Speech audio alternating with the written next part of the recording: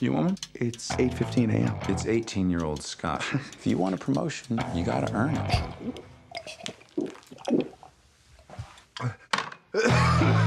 Did I tell you that Harken tricked me into having a drink at 8 o'clock this morning? At least your boss isn't sexually harassing you. See if this thing is working. Oh, I can make out our little friend right there. Stop it. Ooh, Shabbat Shalom. Somebody's circumcised. You know, yours doesn't sound that bad.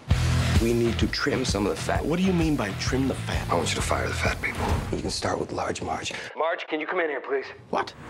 I thought he was going to give you a promotion. Yeah, no, he is. I have decided who I want to be our new vice president of sales. Me. What do you say? Nick, uh, please, we're in the middle of a meeting. Sorry. That's all right. I'll just attribute this to your drinking problem.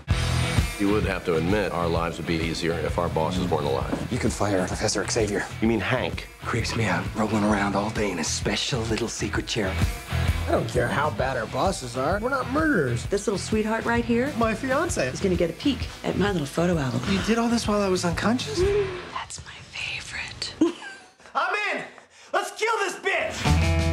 gotta hire a professional. Does anyone here kill people for money? I'm gonna be your murder consultant. Word. You wanna pull off a brilliant murder? It's gotta look like it's an accident. Ah! You gotta be smart. It's gotta be worth what, 15,000? I feel like everything's gonna work out. Look how fast I'm picking out the crap, you know? I'm moving like super fast. I can't even feel my nose. Find them vulnerable. Peanuts? That was a peanut butter sandwich. Are you not good with peanuts? Whoa, whoa, look at this. My boss, who we're planning to kill, is dying in front of you and you saved his life? Well, that sounds bad when you say it like that. I was surveilling your boss. She's incredibly Don't hot. talk about how hot she is. She makes herself a little snack, a popsicle, a banana, and finally, a hot dog. And eating them in that weird order, that's not a proper meal. It's cold to hot. I can crush you anytime I want.